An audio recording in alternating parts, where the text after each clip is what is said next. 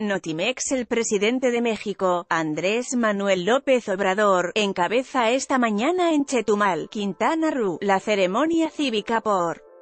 el Día de la Bandera Nacional. Acompañado por integrantes de su gabinete y del gobernador de Quintana Roo, Carlos Manuel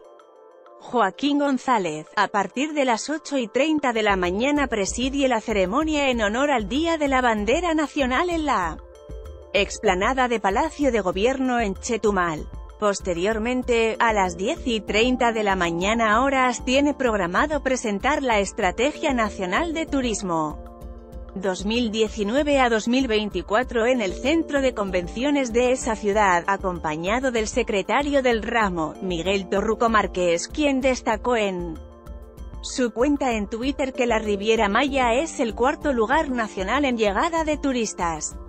De acuerdo con cifras turísticas de 2018 difundidas por Torruco Marqués en la red social, la Riviera Maya cuenta con 333 hoteles 49. 1.358 cuartos, una capacidad de hospedaje de 4.701.000 turistas, de los cuales 1,6% son